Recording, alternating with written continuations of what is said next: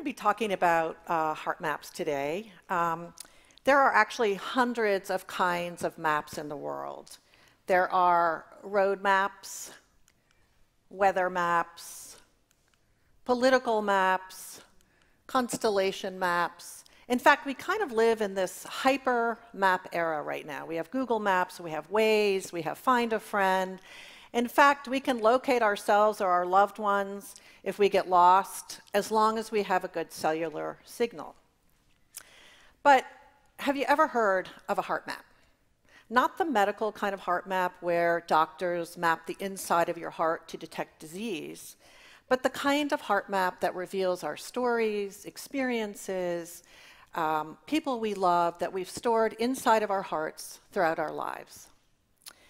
A heart map is an emotional and visual tool where we use writing and words and drawing to map what we care about and who we are. So this is my heart map, and on the very bottom of the heart map, um, I have my creek that meandered behind my house when I grew up in Virginia, and this is where we would go to escape family drama. We would look um, underneath the rocks to find crayfish, and then up towards the center of my heart, um, there's a lock diary that I got when I was 10 years old for a birthday present. And that's when I first became a writer.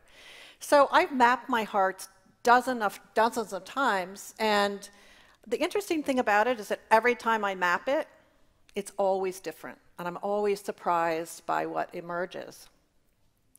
This is a heart map uh, by a young woman who, in the center of her heart, she drew a basket of apples. And around the basket, she wrote the words ordinary things, extraordinary things. And in the very, very left hand top uh, of her heart map, she drew this kind of jellyfish like creature with tentacles creeping down into her heart. And if you look beneath the tentacles, are the words cancer loss. How many of us have experienced sickness and loss and heartbreak and knows what it feels like to have these kind of symbolic tentacles creeping into our lives, into our hearts? Heart maps can also be um, an impetus for social change. This is the Be the Change You Wish to See in the World heart map, uh, created by a young man who had a lot of concerns about the world and wanted to change the world in many ways. And so some of his concerns are children who have no homes, children who um, are abused, and so many other things. I've introduced heart maps all over the world in partnership with an organization called Lit World. And this organization um, goes around the world and promotes global literacy. So this heart map is created by a girl in a little village in India. And she just mapped with raw, uh, drawing and writing the things that she really cared about that are on her heart. And this heart map was created by a boy in Rwanda. It was kind of a family oriented heart map. And even though we might not be able to read all the words of these global heart maps, we understand them from the colors, from the drawings, but also because the language of the heart is a common language that we all share. Uh, once I had a student who had emigrated from Mexico to the United States, and on his heart map, he drew a simple line down the middle, like the border he had to cross. His split heart made him, kind of inspired him to write um, a poem called My Latin Heart, My American Heart. My heart, it's falling. Como un petala la rosa en la tierra, like rose petals falling on the ground. My heart, it's going crazy. Como un loco sin rumbo, like feeling crazy without direction. My heart is scared, como un niño sin sus padres, like a child without parents. My heart, it's lonely, como una telaraña en mi cuarto, like a spider web in my room. My heart is in love, con la niña que nunca vendrá, like the girl who will never come. But I guess if I try my best, my corazón se curará, my heart will heal. Even if you don't consider yourself a writer, often the pulse and beat of a heart map can be transferred into poetry and prose. So let me tell you how I came up with the idea of heart maps. I come from a family of map makers. My sister and two cousins worked for the National Geographic Society um, as cartographers, and my grandmother thought it would be a great job for a woman, uh, for anybody, but for a woman. And so she said, um, I will help uh, pay your way through college if you become a cartographer.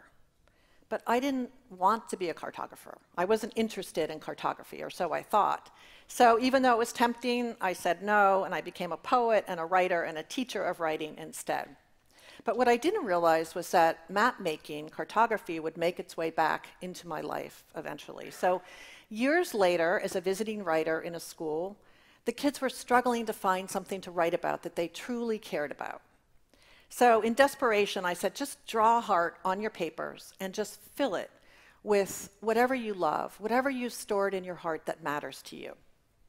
And they were amazing, these heart maps. They drew and wrote about baby brothers and sisters being born.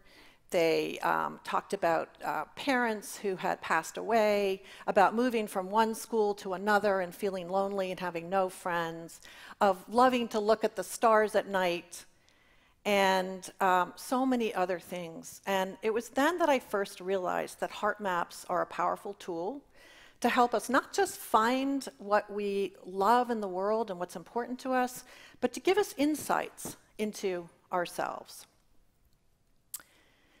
Um, so often, I think um, we realize that um, that you know when I when I when I first started doing heart maps, what I realized was that I became the, a heart cartographer.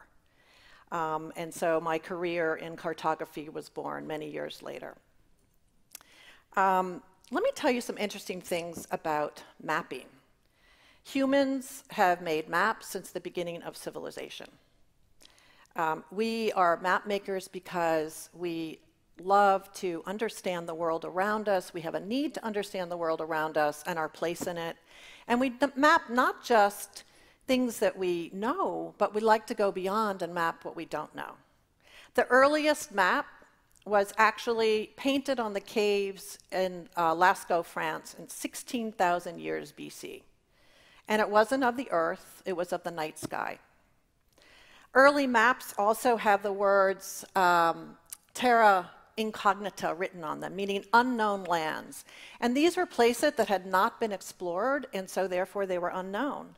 In the 19th century, terra incognita disappeared from all the maps on the earth because every place had been explored.